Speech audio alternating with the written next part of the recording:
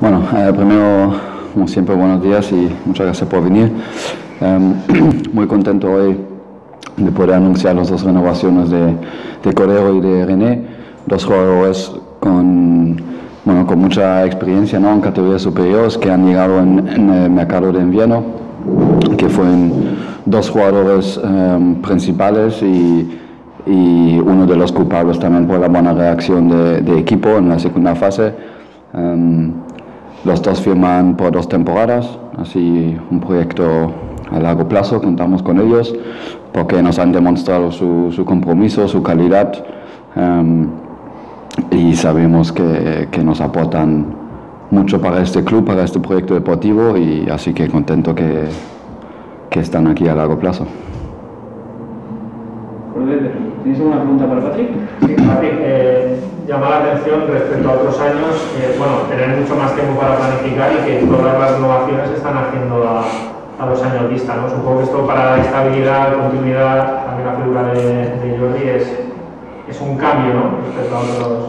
Mm, bueno, ya lo he dicho otro día, no es que parece que nunca que hemos eh, jugadores de más de una temporada, hemos, hemos tenido jugadores con, con contratos largos. Eh, no sé, Valloria ha firmado por dos años, David Preto, Kike López, Follana, pues hay muchos jugadores. Eh, es verdad que después de los años, cuando hemos hecho campeones, pues hubo muchos cambios, porque pues, el mercado también ahí para los jugadores es, diferente.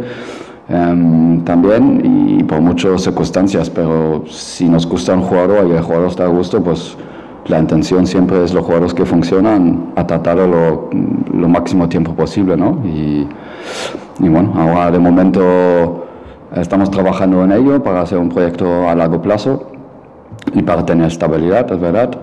y, y, así contento que, que de momento tenemos siete jugadores con contrato y, y encima dos años. Quiero preguntarle por dos casos. El primero, ya que tenemos aquí uno de los porteros, en el caso del, del, otro portero, cómo está el tema de Xavi, después un jugador siempre muy importante que sí. se está especulando que puede salir, que es Peris. Sí, como, bueno, eh, lo mismo con todos los jugadores que aún no hemos comunicado nada, es porque, porque también solo tenemos 24 horas al día, ¿no? No podemos hacer todo, todo en un día. Llevamos bastantes renovaciones en las últimas dos, tres semanas. Um, también uh, mixta, el cuerpo técnico, pues hay, hay, mucho trabajo, hay muchas conversaciones y es simplemente una cuestión de, de tiempo que, que, tenemos resultados y que podemos comunicar algo más. Estamos valorando, estamos trabajando y, y ya pronto tendremos noticias seguro. El hecho, vale, el hecho de que Cartagena ayer ante la Almería tuviese con su triunfo prácticamente la, la permanencia segura en su decisión, puede facilitar eh, la negociación con el Cartagena para que Vinicius Tanque pueda estar también aquí en Baleares o el tema está más complicado porque creo que también hay interés de otros clubes por él? Mm, pues la situación es muy, muy fácil y es como ayer y como hace una semana y como hace un año. Vinicius tiene contrato ahí en Cartagena y, y si se salvan o no, no creo que cambie mucho. Em, es un jugador que tiene contrato ahí y ya está. Nosotros um, era una sesión, ¿no? Siempre hemos dicho que obviamente lo ha hecho, lo ha hecho muy bien, eh, pero es un, es un, jugador que tiene contrato en otro club, así que no, no, puedo decir mucho más sobre este jugador.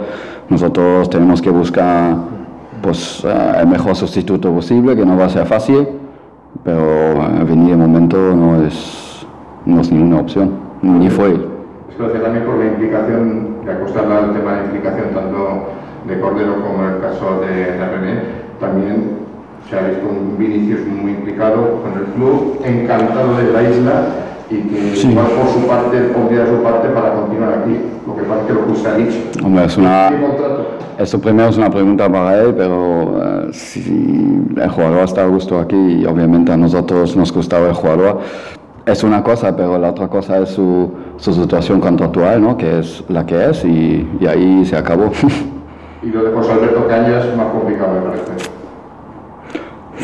Es que ahora por él no creo que sea el día para discutir sobre todos los jugadores, estamos aquí por, por hablar de René y, y, de Correro, que se lo merecen, y ya me puedes preguntar no voy a prensa sobre todos cada uno, si no nos vamos aquí a estar dos horas. ¿Sí? Buenos días a todos. Bueno, no sé, eh, ¿cuál es el principal motivo por, seguir apostando por este proyecto? Uh, tu llegada se, se notó mucho y, cuál es la, aspiración para ti a partir de. Bueno, es eh, muy fácil, ¿no? Desde que, desde que llegué, por lo que vine, era por el, porque el proyecto me, convencía. No, no, fuimos capaces de conseguirlo en este, en este año pasado y creo que, este equipo eh, en un futuro lo va a conseguir, ¿no? Y creo que dándole continuidad al proyecto, eh, pues, pues es más fácil, ¿no? Entonces eso es una de las cosas que que me ha hecho decantarme por, por seguir aquí un par de años más. ¿no? Eh, desde, desde que llegué todo el club eh, me acogió bastante bien, he estado muy, muy cómodo con, con tanto como el club como los, con los compañeros y bueno, ha sido una, una, una, situación fácil para, para decidir. Me imagino que lo mismo, garantía del proyecto de club y bueno, y dos años de contrato para los que para que ya pasáis de, de, una edad determinada, que es importante también. Pero un momento, ¿hay una pregunta para Cordero? Voy a preguntar, eh, luego te cambia René por el sonido. En, teniendo en cuenta tu, tu, posición, este año has estado sobre todo en el último tramo, um, Armando, Cañas y tú, no sé, Armando seguirá, eh, no sé cómo vería la continuidad de, Cañas y la importancia que podéis tener tener todos en el proyecto y después en esta, cómo va a hablar la primera federación que se está quedando, que parece que será bastante potente. Bueno, eh, cuanto mejores jugadores tengamos en, en, esa posición, tanto en esa como en otra, pues va a ser mucho, mucho mejor para, para el equipo. ¿no? Eh, que haya competencia siempre es bueno, ¿no? mientras sea sana, eh, siempre será bueno para, para, el resultado final ¿no? del equipo. Entonces, ojalá, ojalá venga, venga Caña, Alfonso, eh, con Armando que sigue. La verdad que, que eran jugadores que, me he sentido muy cómodo con todos ellos que he jugado y la verdad que, que si vienen de nuevo, pues, pues encantado de, de, poder luchar ese puesto con ellos y, seguro que entre todos vamos a conseguir el objetivo. Y te decía la, la primera, esta primera federación que ya le queda muy poco, o sea, sí. esta semana ya se sabrá quiénes estaréis, pero que hay un nombre bastante potente. ¿no? Sí, sí, está claro que va a ser una, una categoría bastante potente, ¿no? Eh, yo creo que, que, era necesaria, ¿no? Esa categoría entre segunda división y, y segunda B, que, que se hiciera una, una, una, categoría mucho más compensada con buenos equipos y, la verdad que, que, va a estar chula, va a haber buenos equipos, buenos jugadores y, y va a ser interesante ver, ver esa liga. También voy a para Cordero. El hecho de que renoves continúes aquí, supongo que has tenido en cuenta muchos factores, además tú eres un jugador que has estado en bastantes sitios y sabes cómo va esta historia. Y supongo que el tema también de que se te valore tus actuaciones y que se te dé dos años de contrato para un jugador que ya tiene 37 años, esto no se mete en los sitios. Eh, bueno, yo sí es cierto de que mi situación era un poco especial, ¿no? Yo vengo de, venía de un año complicado y, mi idea en un inicio no era, no era esta, no era seguir en este club durante tantos años, ¿no? Pero al final creo que, que el futbolista tiene que ser inteligente, ¿no? Y, tiene que estar donde verdaderamente lo valoren y donde verdaderamente te, te, te den tu sitio y, te dé la importancia que, que tú crees que, que, merecen, ¿no? Y ante eso, pues, pues poco se puede hacer, ¿no? Eh, lo vi el día de mi presentación, creo que la hizo Cordero también, ¿no? Que, que bueno, que el club lleva haciendo las cosas bien muchos años, que, que, que viene de varias temporadas quedarnos a la puerta y, al final si, si, eso sigue así, ¿no? Si, si, sigue en esa línea, al final el club un año u otro tiene que conseguir, ¿no? El ascenso a segunda A. Y, creo que que es uno de los motivos por los que por los que futbolista viene aquí, ¿no? Pues, pues, pues bueno, pues, pues, intentar el ascenso de, categoría y, y qué mejor club que este para, para bueno para estar un poco más cerca. Y un poco también la línea de mi compañero Pedro Más, en cuanto a la próxima temporada, categoría nueva que se os presenta, yo supongo que ya estáis viendo un poco los rivales que, que podíais tener y todo esto, y la verdad es que va a ser dura y complicada, ¿eh? no va a ser nada fácil estar arriba. Sí, sí, va a ser más, va a ser complicado pues porque bueno, al final son, son menos equipos, ¿no? Pero sí es cierto de que, de que bueno, de que está la ventaja de que el primero asciende directamente, ¿no? Eso en, en otras temporadas el club hubiera conseguido el ascenso, ¿no? Así que que es un motivo más para, para, bueno, para afrontar esta temporada con, con ilusión, ¿no? Al final esa plaza de ascenso directo pues pues lo que convierte la, categoría, que antes era un pozo sin fondo, es mucho más, mucho más asequible de, poder abandonarla y de conseguir eh, el ascenso. ¿no? Así que bueno, que creo que va a ser una temporada ilusionante, que va a ser bonita porque al final el nivel de los equipos pues pues va a subir, ¿no? Y, sobre todo eso, ¿no? El hecho de que el primero pasando directamente, pues, pues le va a dar un punto más de, emoción a la categoría. Cuando llegaste dijiste que eras un talismán donde los equipos habían estado, habían subido de categoría, hemos subido de categoría, pero hemos alcanzado una buena primera uh, preferente de, de, federación, ¿no? Una primera división. Bueno, puse el ejemplo del Girona, ¿no? Que llevaba dos años quedándose a las puertas y, tuve la suerte de yo llegar y se consiguió el ascenso, ¿no? Y, venía con esa idea aquí, ¿no?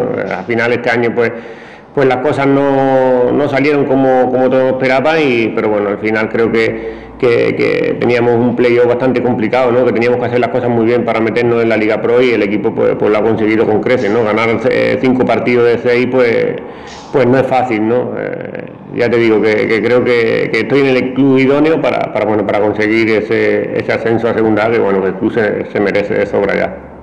Después del año, tú has dicho venía de un año complicado, tema lesiones y demás, ¿te, ¿Te ha sorprendido el, gran rendimiento y el rendimiento inmediato que, pudiste aportar? Y no sé si ha supuesto también para ti una como reivindicación, ¿no? Para decir que, todavía vales y que puedes tener continuidad. Sí, perdona, no, no entendí la pregunta. Si, me ha sorprendido el rendimiento... Pasaste un momento complicado, sí, bueno. lesiones y demás, viniste aquí y el rendimiento inmediato, que no sé si te ha sorprendido que haya salido todo también en ese sentido, al menos a, nivel individual. Bueno, yo siempre soy muy exigente conmigo mismo y, creo que mi rendimiento no ha sido el, óptimo, ¿no? Ya se lo comenté a Patri una vez, que al final me voy a Rumanía sin pretemporada, me vengo y estoy un, mes y medio parado, llego aquí sin pretemporada tal y bueno, creo que quizás mi rendimiento pues, pues puede, puede ser un poco más, más alto.